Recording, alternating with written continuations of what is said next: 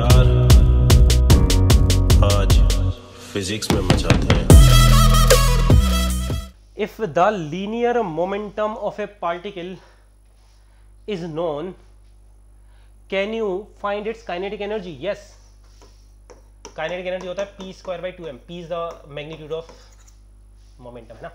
Yes answer is yes we can if the kinetic energy of a particle is known, can you find its linear momentum? Answer is no तुम कहोगे, sir, क्यों? क्योंकि तुम कहोगे, sir, p equal to root two के हम लिख देंगे. अरे, जैसे ये लिखा है, इस इक्वेशन से ये भी तो लिख सकते हैं।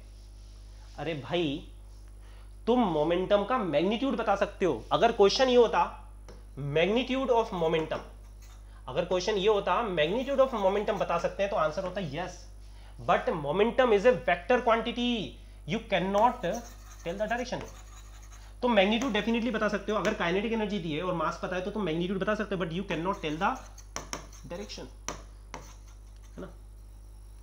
तो भाई, इस पे तो बहुत सारे क्वेश्चन बनते हैं ना सर्कुलर मोशन में भी घुमाते हैं। डायरेक्शन वाला टर्म याद रखना मोमेंटम के साथ वेक्टर लगाने की ज़रूरत नहीं है। मोमेंटम हमेशा वेक्टर होता है। तो तुम डायरेक्शन नहीं बता सकते, तुम मैग्नीट्यूड बता सकते हो मोमेंटम का, पर डायरेक्शन नहीं बता सकते hence the answer is no I बस हमने और इस पूरे क्वेश्चन में एजम्पशन मान के चलें कि अपन को मास पता है।